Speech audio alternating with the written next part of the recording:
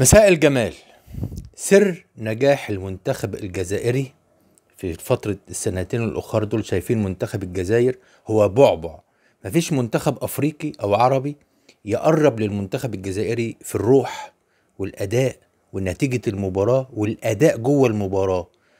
أه بصراحة الواحد سعيد جدا بمستوى المنتخب الجزائري وأنا يعني بجد عندي أمل إن كأس العالم اللي هو بقى السنة اللي جاية إن شاء الله منتخب الجزائر ليه ما يكونش في المربع الذهبي في كأس العالم ويرفع اسم العرب كلها. عايز أقول لكم السر في واحد يقول لك الكورة عايزة فلوس وعايزة مصاريف. في واحد يقول لك لا والله ده كل النجوم يعني بيليه اللي هو نجم العالم سابقا كان حافي وبيشتغل مساح جزم وكان بيلعب حافي وبيمشي حافي. مش مشكلة. الشغل مش عيب أو الفقر مش عيب.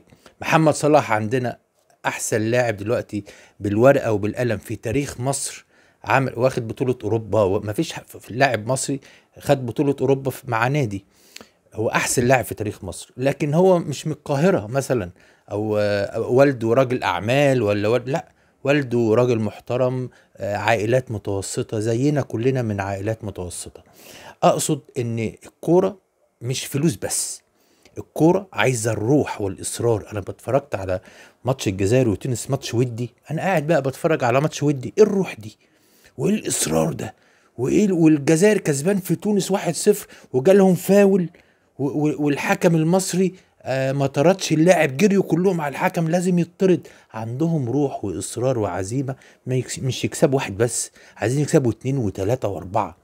بصراحة آه علامة أو إشارة ليا وأنا بتفرج على المباراة إن ده سر نجاح محرز. وفي لعيبة من رأيي السنين اللي جاية دي هتطلع زي محرز في أوروبا لأن المنتخب الجزائري هو الأول على أفريقيا والعرب فبالتالي الناس هتبص له الوكلاء هتبص له كتير. أنا سعيد جدا بمستوى منتخب الجزائر وشفت كمان منتخب المحليين مع ليبيريا خمسة واحد. سيبك من النتيجة لكن شفت لعيبة كنوز. كنوز وأعمارهم صغيرة. شفت شبيبة القبائل في ال- اللع- اللاعب الجزائري هو عنده إصرار من الطفولة وروح عالية. مش إحنا مثلا هنا يقول لك إيه يا عم ده النادي بتاعنا تعبان أنا عايز أروح النادي الأهلي. هو ما بيتمرنش. الولد مش عايز يتعب. الولد مش عايز ي- والده يقول لك أنا أدفع فلوس وأدي ابني الأهلي. هو ابنك ما ينفعش يلعب حتى في أي حتة. لازم يبقى فيه الإصرار والعزيمة والروح بعد كده لما تيجي تصرف على الولد اللي عنده الروح ده هتلاقي مستوى. زي ما شفنا منتخب الجزائر ال- الجزائر والمغرب وتونس ومصر كلنا البلاد ال- الحالة واحدة المادية يعني مفيش بلد أغنى من بلد ولا حاجة. ولكن اللي يفرق في النجاح هو الروح الروح العالية. أنا شايف الجزائر روح عالية غير طبيعية وال- والمدرب واللعيبة الكبار أنا لما أكون ابني ناشئ صغير عنده عشر سنين جزائري مثلا وبيتفرج على منتخب الجزائر هقول له بص الولد من غير ما أقول له بص هياخد نفس الأسلوب هيجي يلعب إن شاء الله لو يلعب في الشارع هبقى مش عايز يتغلب عنده الروح والعزيمة. ما شاء الله أنا سعيد جدا بمستوى منتخب الجزائر وإن شاء الله خير بإذن الله. وسعيد إن شاء الله بإن أنا بحلل مبارياتهم وبحلل كمان إن شاء الله الدوري الجزائري لأن الكرة ملهاش وطن.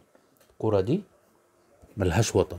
الكرة دي الواحد بيحبها ومهنتي أكل عيشي من من الكورة فبحب أتفرج على منتخب جزائري يبقى أنا بتفرج 90 دقيقة وأنقل أفكاري ليك في الفيديو وكمان أنا بتعلم أنا بستفاد. شكرا.